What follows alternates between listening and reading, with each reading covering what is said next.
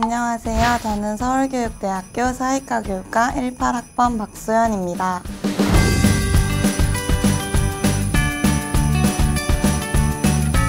보통 시험지 공포증은 시험지가 평소에 공부하던 종이랑 많이 달라서 생기는 것 같아요. 그래서 저는 평소에 공부할 때도 모의고사 시험지랑 똑같은 크기, 똑같은 글씨체인 것으로 공부하려고 노력했고 시험 직전에도 그런 종이를 이용해서 공부를 했어요.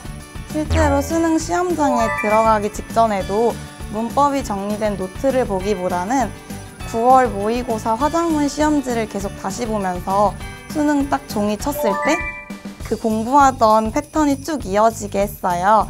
그러면 좀 덜 떨리고 바로 집중이 되기 때문에 더 국어 시험을 잘 볼 수 있었던 것 같습니다.